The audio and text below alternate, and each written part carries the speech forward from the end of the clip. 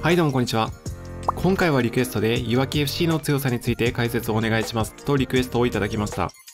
僕も実際に今シーズンは2度いわき FC の試合を見ているので、その感想だったり、いわき FC について改めて見ていきたいと思います。感想についてはあくまで素人目線なのでご了承ください。それでは行きましょう。まず、いわき FC の参入までの流れに関しては、シーズン前に動画にまとめてありますが、改めて簡単に見ていきたいと思います。2012年創設され、2015年株式会社ドームが参入し、株式会社いわきスポーツクラブを設立しました。2019年全国地域サッカーチャンピオンズリーグを優勝し、2020年から JFL を戦い、2021年 JFL 優勝、J3 へ参入が決定しました。いわき FC はスポーツを通じて社会価値を創造するをフィロソフィーとし、そのために行動基準としてグローバルスタンダードプラスエキサイトメントを掲げています。つまり世界で最も優れたものを参考にし、人々をワクワクドキドキさせることができるかどうかを最重要視しています。そのために必要なことの一つがフィジカル革命だったわけです。いわき FC イコールフィジカルという見方をされることが多いですが、そのフィジカルは目的を達成するための手段だといわき FC を知るほどに思い知らされます。いわき FC の代表取締役社長は、試合に勝つとか相手よりも力強く球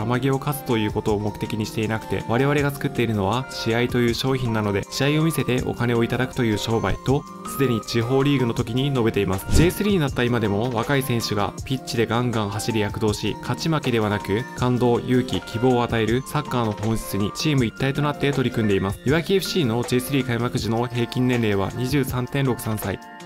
J リーグ全てのチームで最も平均年齢が若いチームです。チームのフィロソフィーが補強の部分まで行き届いているのがわかります。そして補強の部分だけでなく、すぐり監督の選手間の距離は近く、そしてボールを奪ったら前につけるという戦術が試合でも徹底され、相手がどんなチームであっても関係なく、自分たちのサッカーを貫くといった意志が試合を見ていても感じ取れます。もちろん選手個人としても両サイドバックの佐賀選手、日高選手であったり、